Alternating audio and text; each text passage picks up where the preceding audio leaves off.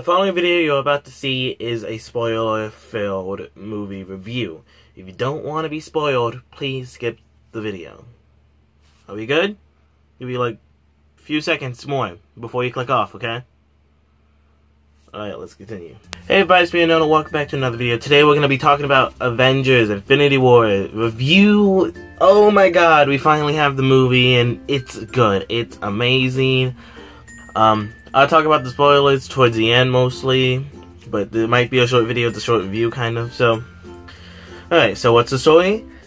The story is that Thanos wants to have all six Infinity Stones to go destroy half of humanity with just a snap of his finger.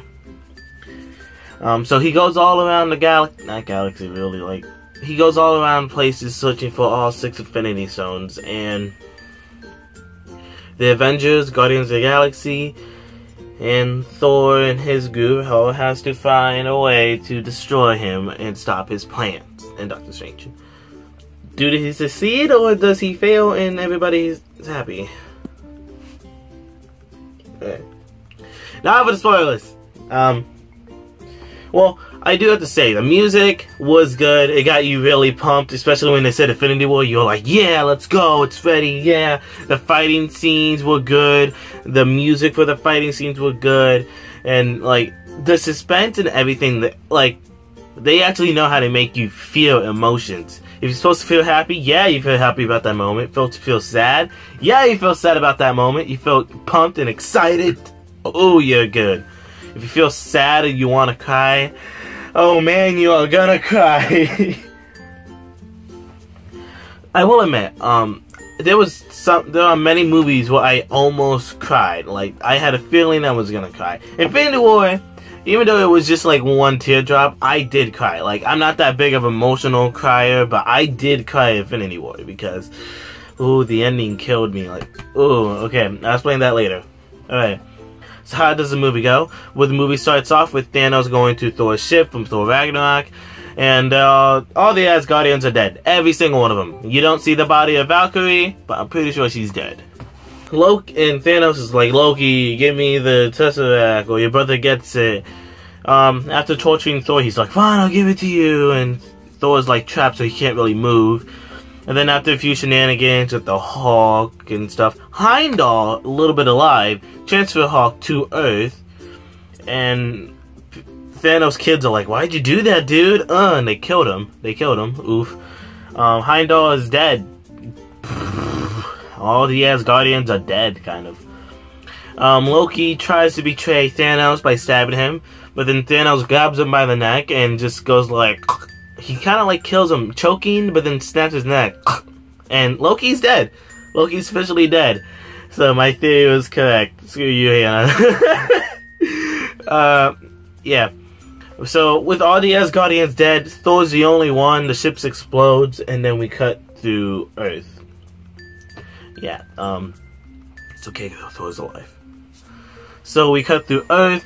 Banner crashes down to Earth while Doctor Strange and Wong are out about to get some subway or something. I don't know. And right when Thor crashes down, Iron Man's hanging out with Piper. Pap I always forget her name. I am so sorry for that. Piper. I don't know. And right when they're about to do it, like talk and hang out and stuff, like, oh man, let's make dinner tonight. I promise I won't be a superhero anymore. Doctor Strange's like, hey, we need your help you want to help? And he's like, why should I help? And then just Bruce is out there like, dude, we need your help. And it's like, oh, hey, Bruce, where you been? Let's catch up.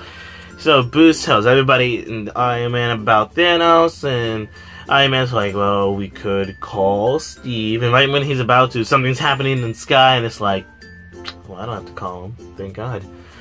Um, they fight Bonnie Man and the tough guy. I always forget these names. I am so sorry. he called it Bonnie Man Squidward, but you see the Michael, I want to say bleeding edge I don't remember, it's kind of not. You see that for me and everything. It's just like, ooh, it's so good and everything. Like, I heard some people going, woo, like it was softly because they didn't want to be too loud. It's a movie. Also, two of other Thanos' kids goes mm-hmm. towards Vision so he can get the um his Mind Stone. Okay, totally forgot to add that in. I am so sorry. Okay, continue. So that fight happens. Spidey sees um it happening, and then we all see that iconic scene when Zed's like, "Well, I'm gonna die," but we finally get a Stan Lee cameo really early in the movie, though. Um, he plays the bus driver that's driving Peter to and Ned to school, kind of. And I thought that was funny. And he's like, "You guys act like you haven't seen a spaceship before," or like something like, "What? You haven't seen a spaceship before?" And I thought that was funny. I'm thinking, you know, I knew Stan Lee was gonna probably be somewhere in this movie. Wow. yeah. So after that, Ebony Man knocks out Doctor Strange and takes him away to try to torture him to take the Time Stone. Iron Man, Spider Man follow him, and then they save him. Alien, you know, just blasts a hole to space, and the alien falls out. Yeah. Um, I, Spidey does get his Iron Spider suit so he can survive in space. And Many things happen with Thor meeting up with the Guardians the Galaxy, taking Rocket and Groot to go form his new hammer. We see Peter Dinklage. We finally see why Peter Dinklage was in the credits, and well, in like the names. He doesn't play Pip the Troll. No, he doesn't. He plays the guy who helps mold Thor's new hammer, Stormbreaker. And I thought that was cool. I thought it was funny that he's a tiny midget, not tiny people, tiny, tiny person. I am sorry, I did not mean to say midget. I am so sorry. Um, he's a tiny person, but they CGI'd him with one of a green screen kind of, it's kind of obvious. So like where he's giant and bigger than everybody, I thought that was cool. So, by this point, um, the Guardians go out to nowhere to go see the Collector, and Thanos takes Gamora. So, but that means Thanos already had three gems: Power Gem, Space Gem, and a Reality Gem. Well, Stone, sorry, Stone. And Thanos' plan is actually going really well and everything. We do see some flashbacks back to Gamora and everything. Um, but we finally do see, like, I'm gonna, I am cutting a little bit in. Yeah, um, Cap takes everybody to Wakanda and everything. We see where the so and so finally is, and the protector kind of of it is Red Skull from Captain America, the first Avenger. We saw him hold the Tesseract and he was launched up to space. He, we finally found out where he was.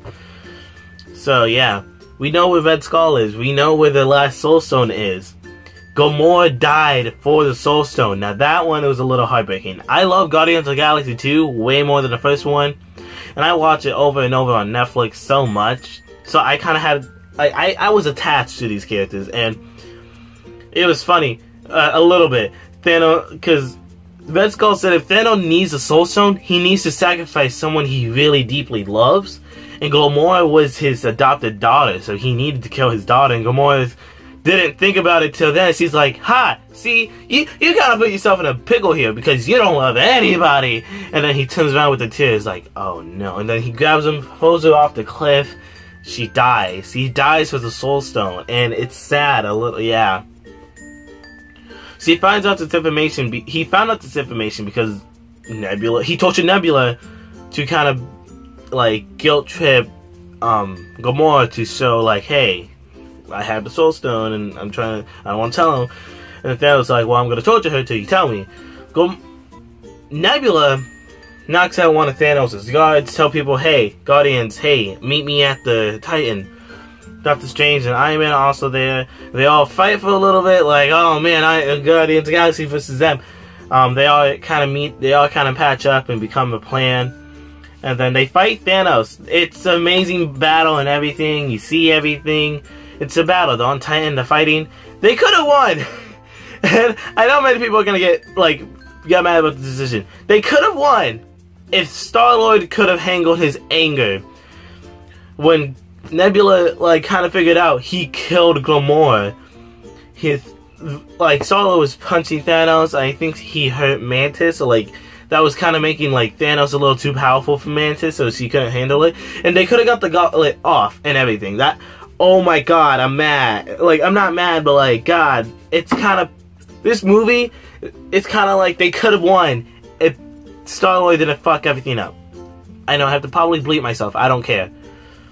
But yeah, Star Lord messes everything up for everything. Like he, they could have won this movie if Star Lord didn't mess up. So after Thor gets his hammer, though, like his new Stormbreaker, they go back to Wakanda to help Captain America fight everybody and everything. And it's an awesome battle. You know, you have Rocket Raccoon with um, the Winter Soldier, um, the White Wolf, Bucky Barnes is shooting out everything. It's like, ooh, man, the action is amazing.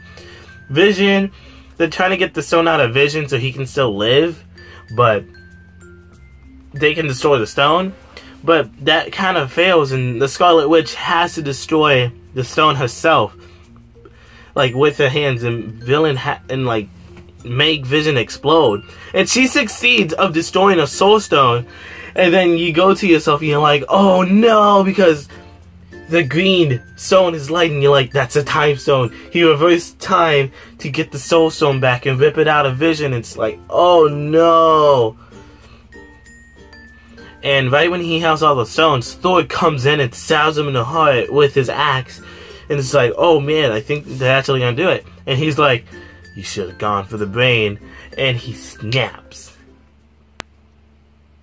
It's quiet. You see him in an orange place.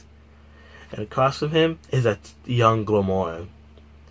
People are saying this is Thanos in the Soul Stone. Like, just like with Gamora, like the finger snap, he just went to the stone, kind of reflecting on what he did. And she's like, um, like kind of like, are you happy about this now? You finally won. He's, yeah. Everything you go back to everything else. The gauntlet is kind of destroyed. It's, it was too powerful and it's destroyed. You see everybody again, but they're fading away. Like, whoosh, like they're turning into ash and flying away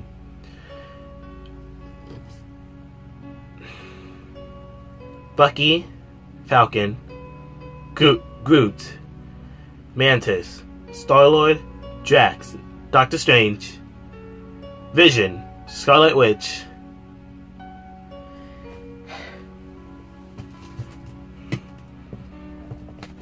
and Spider Man dies. That's the part that killed me. He was the final death of the movie, kind of, and that killed me. This this killed me. Now I'm not gonna like kind of destroy it, you know, kind of represent like, oh, you know what, they killed Spider-Man. Um, my friend Morgan, my friends Morgan, Sydney, and Austin gave me this balloon. I love you guys, thank you. So I'm not going to destroy this, but yeah, I, I, I legit. That's the only time I cried. They killed off Spider-Man. I love Tom Holland. Oh my god, Spider-Man: Homecoming would be my top number one favorite. Um, like MCU movie. Like even Infinity War can't beat it. Infinity War is number two in my list now, but they just like like Tom Holland's like scared. He's like, I don't want to go. I don't want to go, and you just see him fading away. And the movie ends with Thanos sitting down, looking at a giant field, like smiling, like, yeah, this is peaceful. And then the movie just ends right there. Now, many scenes from the trailer does not make it in this movie. As in, they CGI, like they just made scenes for trailers so they don't spoil the movie. Even the Funko Pops even got like didn't even do anything like spoiling. You know that Funko Pop where Hulk was supposed to jump out of the Hulkbuster? Never happened. You know this scene? Never happened. You know this scene? Doesn't happen. So many scenes are CGI out, CGI'd out or CGI in just so they don't spoil anything. And that's amazing. And this is kind of like a heartbreaking Infinity War movie. That's why everybody loves it. It's heartbreaking but we understand.